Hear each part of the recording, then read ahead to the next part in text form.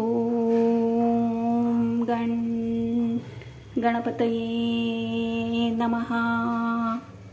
श्री गुरुदेव दत्त नमस्कार मित्रों profit six six six channel में आपका स्वागत है। कैसे हो आप? आशा करती हूँ कि आप ज़रूर कुशल मंगल होंगे।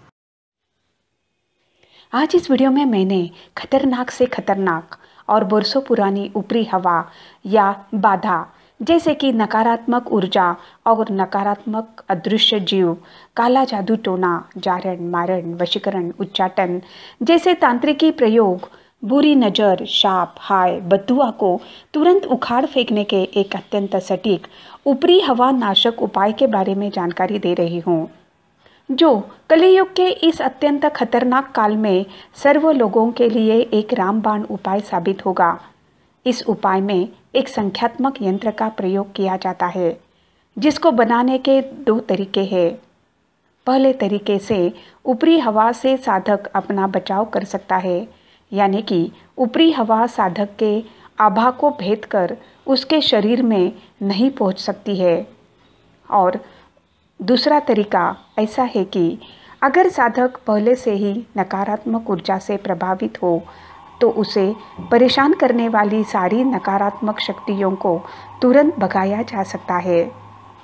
आगे इस वीडियो में मैंने इन दोनों तरीकों के बारे में बताया है, इसीलिए वीडियो आखिर तक देखिए। अगर आपको यह वीडियो पसंद आ जाएगा तो कृपया सब्सक्राइब करना मत भूलिए।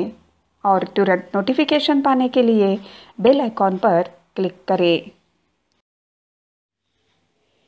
ऊपरी हवा से बचने के लिए साधक को किसी भी दिन सवेरे स्नान करने के बाद स्वच्छ वस्त्र धारण करके सफ़ेद रंग के कागज़ पर केसर की स्याही से एक नुकीले लकड़ी के टुकड़े से आगे बताए हुए सोलह अंकों को लिखना है और फिर उसके सामने लोबान का धूप प्रज्वलित करके अपने इष्ट देवता का आशीर्वाद लेना है।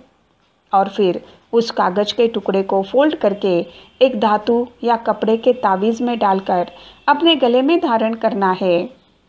केसर की स्याही बनाने के लिए केसर में थोड़ी सी पानी की बूंदें डालकर उसकी स्याही बनानी है। अब मैं आपको दूसरा तरीका बता रही हूँ।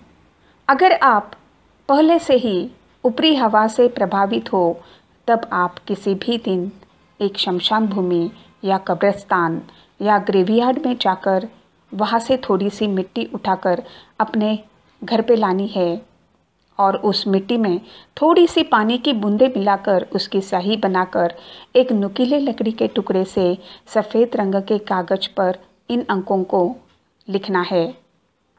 फिर उसके सामने लोबान का धूप प्रज्वलित करके अपने इष्ट देवता का आशीर्वाद लेने के बाद उस यंत्र को फोल्ड करके एक पीले रंग के तावीज़ में डालकर अपने दाहिने हाथ की बाहें, यानी कि भुजा पर धारण कर सकते हो। अब मैं आपको यंत्र कैसे बनाना है वह बता रही हूँ। कृपया ध्यान से सुनिए। इस यंत्र को लिखने की किसी भी प्रकार की चाल नहीं है। अंकों को किसी भी क्रम में या किसी में भी भाषा में लिखा जा सकता है। मैंने इस वीडियो के अंग्रेज़ी आर्टिकल की लिंक डिस्क्रिप्शन बॉक्स में दे दी है। अब मैं आपको यंत्र कैसे बनाना है वह बता रही हूँ। कृपया ध्यान से सुनिए। नमूने के तौर पर मैंने सफ़ेद रंग के कागज़ पर लाल रंग की स्याही के पेन से एक यंत्र बनाया है। यह देखिए मैंने एक स्क्वायर निकाला है, उसके अंदर छोटे सोलह स्क्वायर है और उसमें कुछ अंक लिखे हैं। अंक तो मैंने अंग्रेज़ी में लिखे हैं। अगर आप चाहे तो इन्हें हिंदी में या अपनी मातृभाषा में भी लिख सकते हो। अंक इस प्रकार से है।